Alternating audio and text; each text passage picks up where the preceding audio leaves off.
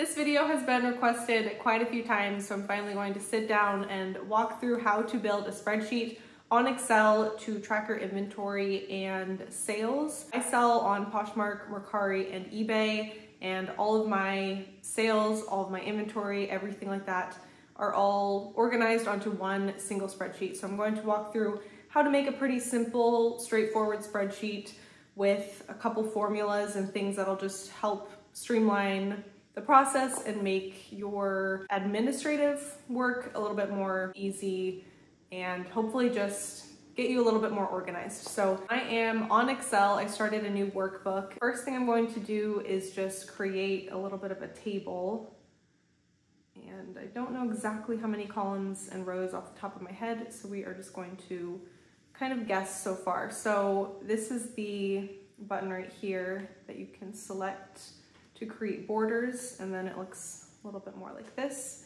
So here is the table. So on the very top row here is where we're going to enter all the titles of the different columns for the spreadsheet. So the first thing I'm gonna put in is purchase date. So anything that you bring home from the thrift store, you will just add in the date here. And this is all just obviously suggestion and an example. You can tweak this however you want to and just really personalize it. So the other thing I'm gonna do is highlight this row and then just hit this B here to bold it because I like my titles to be bold. And I'm also going to just zoom in a tiny bit down here. There we go, maybe one more. Yep, that looks good. All right, then the next row over, the next um, column is going to be the product. Oh, yep. And this one I am going to extend quite a bit just because I like to get pretty descriptive with what I, you know, what all I enter in for the product. So the next thing I would put is cost of good, what you spent for the item. Then over here, I would do probably date listed. So once I finally do list the item on any of the platforms I'm going to list it on, I would enter that in and that'll come into play later. I will show you, but that's again, very optional. All this is, I guess, optional, but this is just a good way to get everything all onto one sheet. So then the next thing, price listed, once it does get listed, then right here, I would do date sold and then the price sold.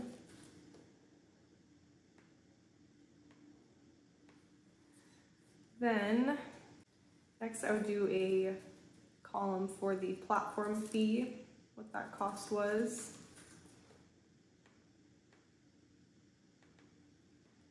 Next would be shipping cost.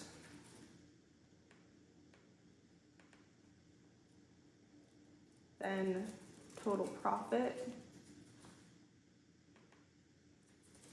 turnaround time, and on the end I put storage location or anywhere to locate where the item is. You could also add another column in here if you wanted for notes, just anything you want to add if you wanted to, you know, make note of what the counter offer process was like or which thrift store you bought it at, anything like that could be another helpful column to add in. On Excel, everything just is automatically general right here, but in a lot of these cases, we want it to either show up as a date when we input things or as a price. So under purchase date here, I'm just going to highlight these cells, come over here, drop down, and then hit short date.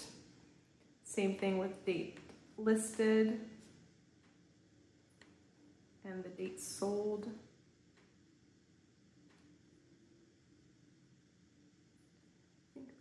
Them. So then for a few of them, we want them to show up as a price with the dollar sign.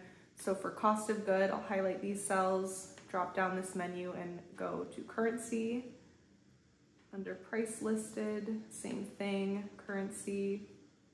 Price sold will also be currency, as well as the platform fee, shipping costs, and total profit.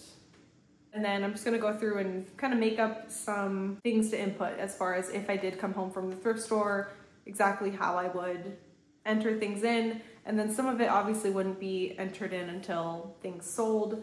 or were listed. So this is just the full process. If we went from, you know, thrift store, listing it, selling it, everything that would be inputted. This is also where I'll walk through and share the formulas to input. So that is what we'll do here. Okay, so purchase date. So let's say I bought this item on 2 26 24. The product was a pair of Levi's 501 cropped straight leg jeans in a medium wash, size 30. And you could also get extremely specific here and do the brand, do the size, color, style, and just do a different column for each of those if you wanted to be a little bit more specific. I personally just go this route and enter it all in into one. I think it makes it a little bit just easier for me. So whatever works for you, that's definitely an option. Moving over here to cost of good, let's say I thrifted at the bins, which is a very likely scenario. So I spent $1.89. For the date listed, let's say I listed it on 227. The price that I listed it, let's say was $40.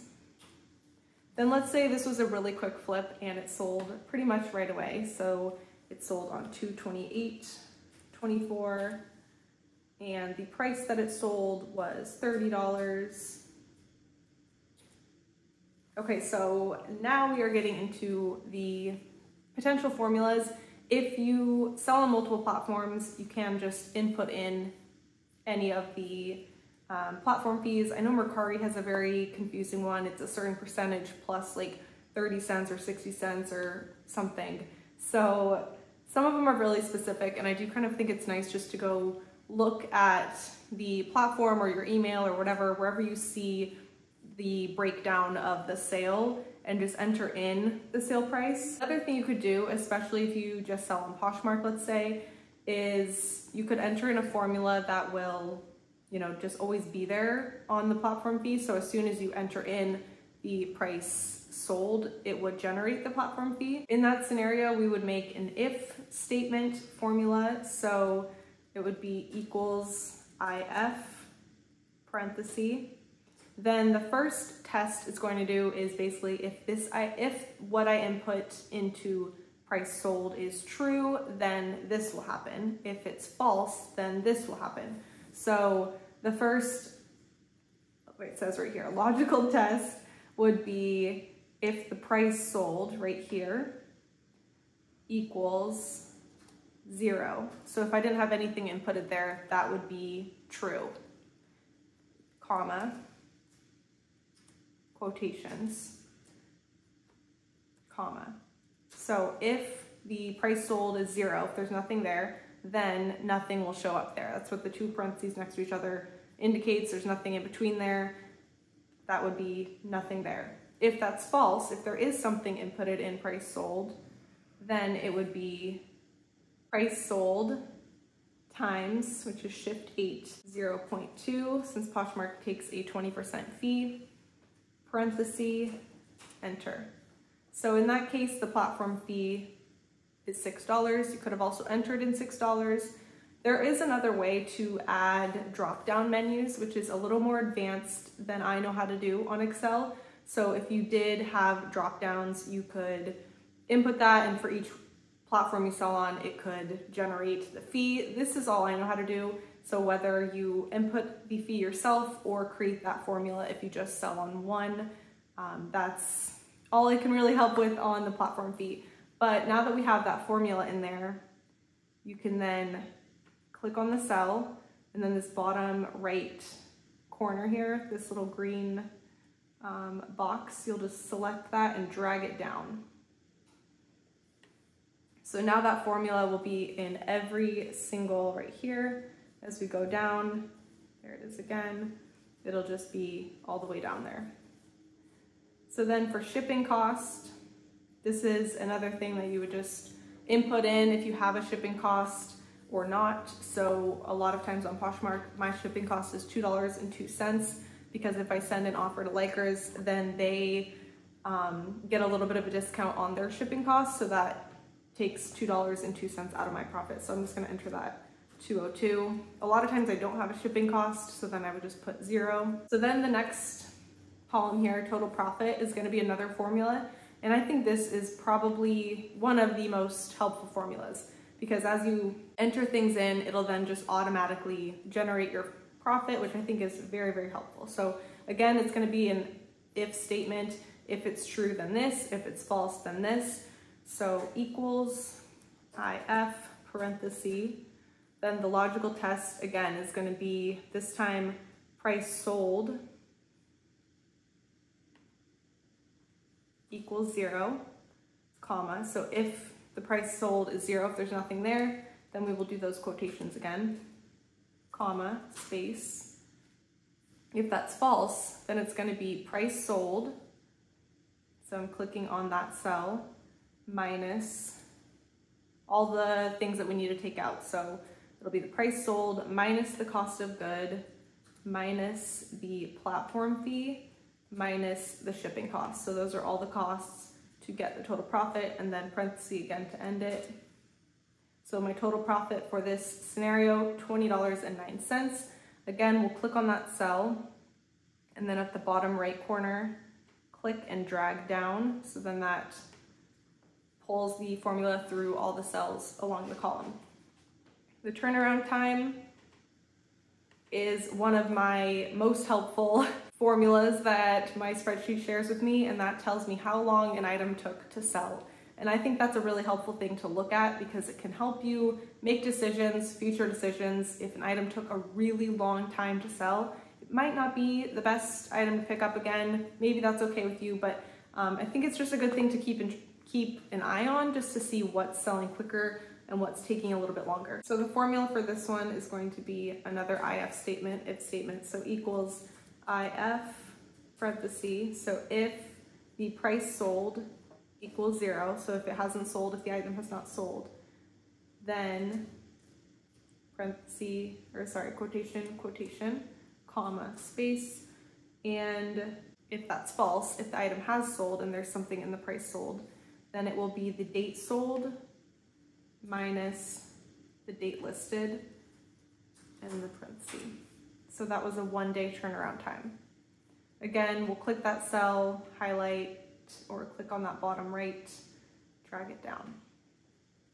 Storage location for this, this is where I enter in the bin number, letter and number. So if I stored this in my B bin B-13, let's say, is the storage location. Okay, so now that we have all of our formulas in there and all of the columns set up and ready, let's do one more example down here just so we have a couple different data points to kind of work with. Let's give this a different, a little bit of a different scenario. So we'll say the purchase date was back in January, January 14th, 2024, and it was a Reformation silk blouse top in a cream color, size large.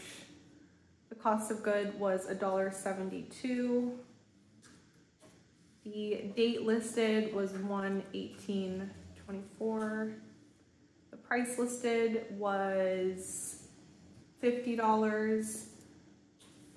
The date it finally ended up selling was 21224 The price sold was 42.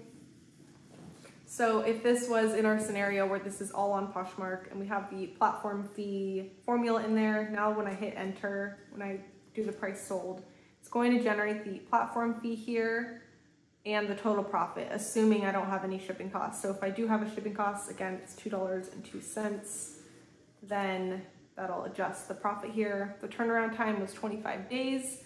And let's say the note I add in was countered back and forth with the buyer. I don't know, that's a random example, but that's really it. Super simple, just like entering in a few things. And then it is very, very nice to have the total profit generated automatically once you enter in a few things and the turnaround time. I think that is very, very helpful. So now that we have those, I'm gonna add in another thing onto the spreadsheet that I find very helpful just to take a quick look at my numbers. So I'm gonna add in a couple rows up here just to give a little more room. So a couple things I like to track are my total revenue. So again, I'm gonna bold total revenue and then the total profit. So I can just take a quick glance for the year. And I do my spreadsheet for one year. So I would do, I have one right now for 2024. I had one last year, the year before, the year before. So you could do month, you could break it down by month and do different tabs down at the bottom you know, the world is your oyster when it comes to your spreadsheet, but you know, hopefully this is giving you some good ideas. So for total revenue, this is going to be a subtotal of the total revenue column. So we'll hit um, another, this will be another formula. So equals subtotal. It'll automatically create that parenthesis. And then we want it to be a sum. So right here, sum, comma. Then the column we want to, you know, get the subtotal of will be the price sold right here. So that is the H column. So we're going to do H colon H parenthesis. And then these two we will also want to make into, I know, what are you doing? Did you have a good nap? So we'll do currency again. So then it automatically just pulls the subtotal of my current revenue here. Then for total profit, it'll be almost the exact same thing. For the formula, we'll hit equal subtotal.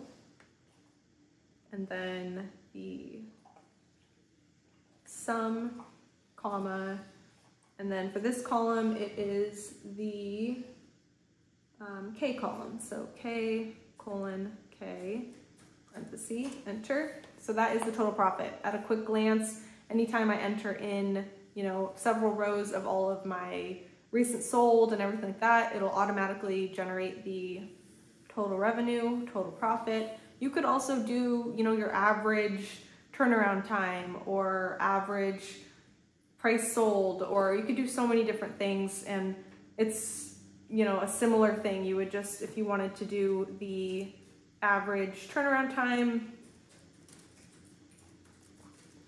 Could just make another little spot on this table and it would be equals average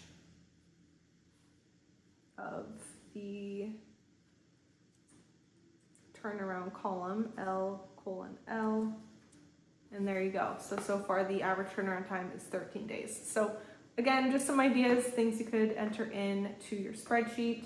Something I find very helpful, especially as your spreadsheet gets bigger and you have a lot of data points, is to freeze the um, top cells so that this box here, this table is always at the top. So in order to do that, we're just gonna highlight the row underneath it, underneath the last um, row of cells that we wanna freeze. And then up here on view, click that. And then over here it says freeze panes. So now when we scroll, this will always be on the top. So again, once you have a lot more data in there, it'll be very helpful just to keep that there and be able to scroll around and still be able to see that. All right, that's it for this video. Thank you guys for watching. I hope you found it helpful. Hopefully it was very easy to follow. And please feel free to leave any questions at all down in the comments. I will do my very best to answer them. And if I don't know the answer, I will try to find the answer. So thank you so much for watching. I hope you have a really good rest of your day and I will see you in my next video.